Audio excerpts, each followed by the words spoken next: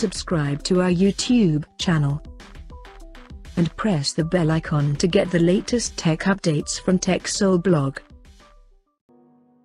Vivo has launched its new 5G enabled smartphone under Y series in China called Vivo Y70s. Talking about the specifications, the Vivo Y70s supports a 6.53-inch Full HD Plus display with 19.5 9 aspect ratio and 90.72% skin to body ratio. Under the hood, the phone is powered by Samsung's Exynos 880 chipset paired with Mali G76 MP5 GPU. The smartphone packs with 6 or 8GB of LPDDR4X RAM and 128GB of UFS 2.1 storage. As per the camera, the Vivo Y70s features triple camera setup on the rear that includes 48 megapixel main camera with f1.79 aperture plus 8 megapixel ultra wide angle lens with 112 degree field of view and a 2 megapixel depth sensor with f2.4 aperture.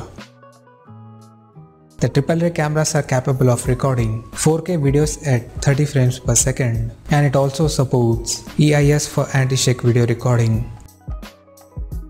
For selfies it has 16 megapixel camera at the front under the hole punch with f2.0 aperture. On the software front, the handset runs on FunTouch OS 10 based on Android 10 out of the box.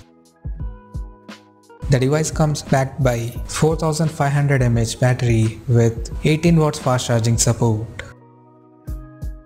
Additionally, the smartphone also features an side-mounted fingerprint sensor for authentication and it also comes with liquid cooling technology. The connectivity option on the phone includes 5G, dual band Wi-Fi, Bluetooth 5.0, GPS, 3.5mm headphone jack and a Type-C charging port. The physical dimensions of the smartphone measures at 162.07 by 76.61 by 8.46 millimeters and it weighs around 190 grams. Now talking about the pricing and availability details.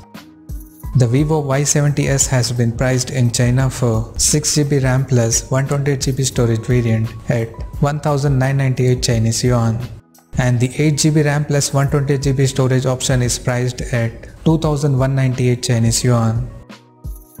The smartphone is now up for pre-orders in the country in Fog Illusion, Starlight Blue and Moon Shadow black color options. So what do you guys think of this Vivo Y70s smartphone? Do let us know in the comment section below and stay tuned to TechSoleBlog YouTube channel for more tech updates. Thanks for watching. We'll see you guys in our next video.